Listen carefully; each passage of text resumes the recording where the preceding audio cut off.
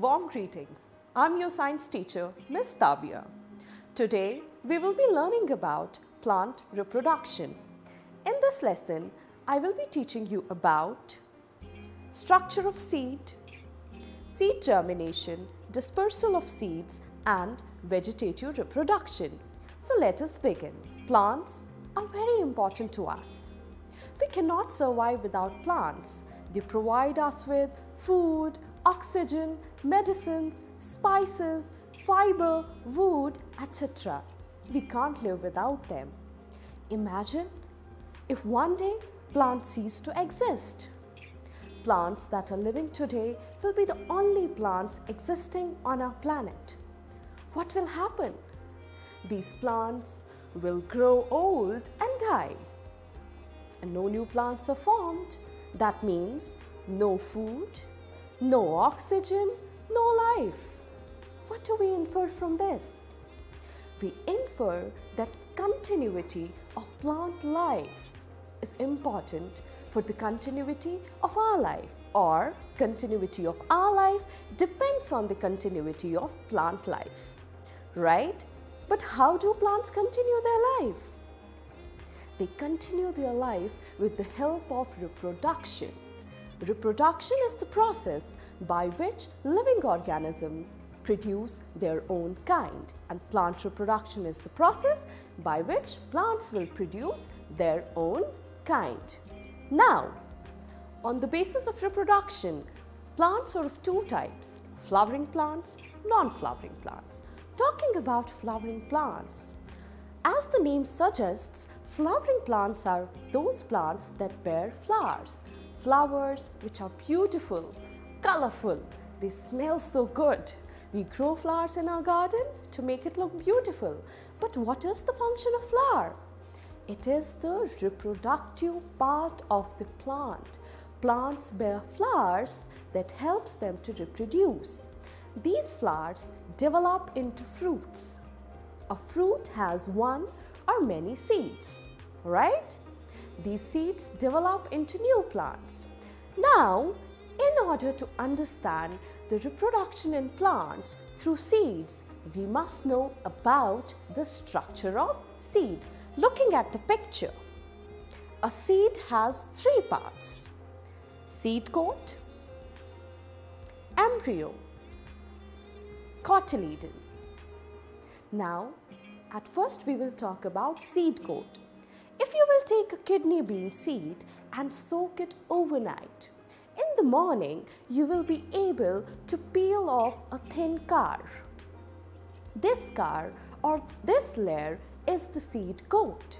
The function of seed coat is to protect and cover the inner parts of the seed, right? So it's for the protection seed coat.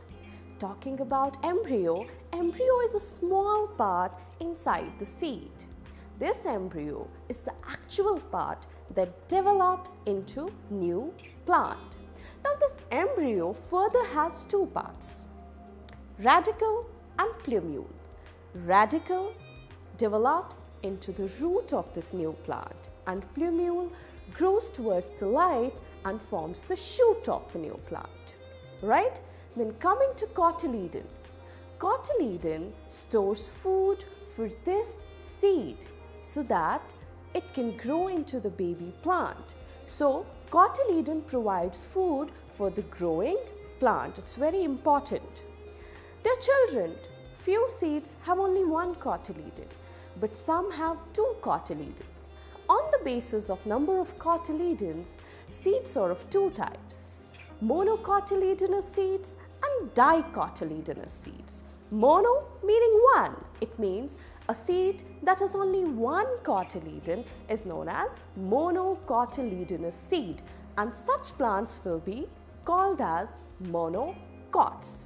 But the seed that has two cotyledons, they are known as dicotyledon seeds and such plants are known as dicots. Citing some examples, monocotyledon seeds or monocots, rice, maize, all types of grasses dicots, beans, mango, apple, etc.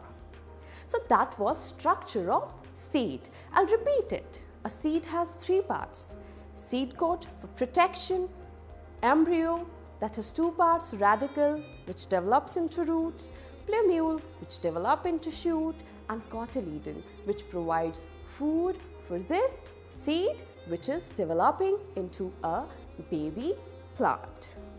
Now let us move forward to seed germination. What is seed germination? Basically, it is the process by which the seed will develop into a baby plant. The seed germinates to become a baby plant. The process by which seeds develop into new plants is known as germination. Remember, ripe fruits produce fully developed seeds. If fruits are raw, seeds might not be fully developed. They will not germinate. For germination of seeds, there are certain conditions which are necessary. Number one, air. A seed needs air to germinate. Warmth.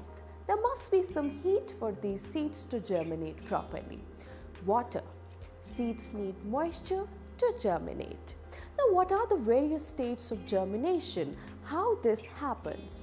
The children, when we take a fully developed dry seed and provide it with necessary conditions that is air, warmth and moisture, it will start to develop. Initially, seeds absorb moisture and the seed coat will split. The embryo will start developing. First, radicle comes out and develops into the root of the plant.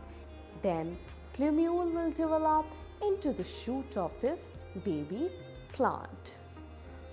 Over the period of time, the roots will be formed fully, the shoot will be formed and leaves will also start to grow. But before that, when leaves are not formed, cotyledon provides food for this developing baby plant. This cotyledon turns green to make food, but once leaves are formed, they can show photosynthesis and prepare food for the plant. Here, one more thing that I would like to mention is germinated seeds are known as sprouts and these sprouts are good for our health. Moving on, children, let us talk about seed dispersal. What is seed dispersal? When seeds are dispersed or spread away from the parent plant, it is known as seed dispersal. But why? What is the need of seed dispersal? Why do we need it? Seed dispersal is very important. Take an example of a parent plant, a huge tree. It has many flowers. The flowers will develop into fruits. Fruits will ripen, seeds will be fully developed and after some time the seeds will fall down on the ground and they will start to germinate. But all the seeds are accumulated at the bottom of this tree. They might not get enough warmth because they are under the shade of this parent plant. There are so many seeds, so all of them might not get enough moisture and less space. So they won't be able to spread their roots or develop proper shoots. That makes seed dispersal very important. So for the reproduction of plants, when fruits develop, ripen, seeds are fully developed, seed dispersal is important. So the seeds are spread away from the parent plant. They get enough space, warmth, moisture, air and germinate to form new plants. The children, there are many ways by which seed dispersal takes place. Number one, dispersal by wind. Wind plays an important role for seed dispersal. There are many plants which have light or winged seeds.